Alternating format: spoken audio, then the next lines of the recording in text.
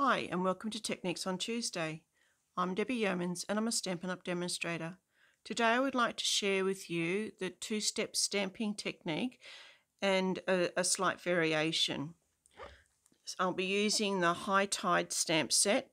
Um, it is a two-step stamping set and it uses images that will layer on top of each other to complete the image that you're trying to or wanting to get. So this is my cards. This is a normal way of doing two-step stamping. And this is my variation where I've used a window sheet for a second layer. So let me show you how I've done that. When using two-step stamping, it's a I like to use my Stamparatus, so I'm just going to bring that in.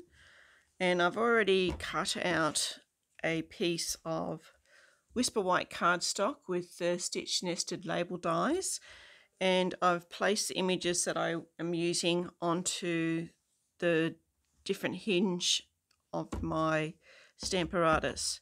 So the first layer I'm going to ink with crumb cake ink and press that down and lift that up. Oops.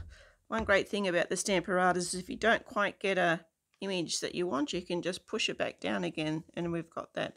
And then at the top we've got some the grass which with I'm going to ink with Pear Pizzazz. So you can see that I'm getting this. And then I'm going to lift my hinge and spin it around. And on the other image, I've got my Memento Black and I'm going to ink up the outline of that and stamp again. So that is two-step stamping. So now let me show you how to do a variation of that one. So we start with our piece of white like we did before. Place that in place. Turn these back around. And start with my crumb cake ink. Give that a good push down. And then I'm going to put the Pear Pizzazz on, just move that magnet a little bit first. Whoops. Put some Pear Pizzazz on the bottom.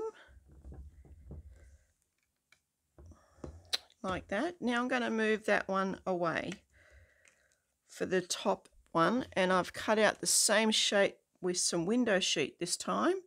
So I'm going to put my window sheet down and switch the top bit back around again.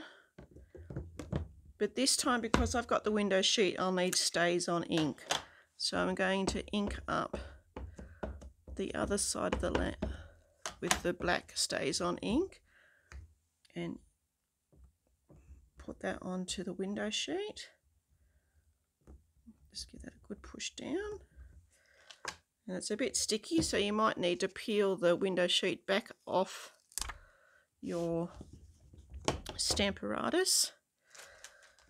And I've got my top layer then on here, and I'm going to put it, so we'll need to use some Tombow liquid adhesive glue to stick that onto there and it gives me just that little bit more of a 3D background compared to this one.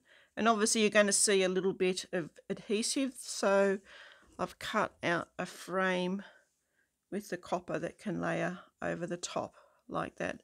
So that is two-step stamping with a variation and that is my completed card. Thank you for joining me today. I hope you have a go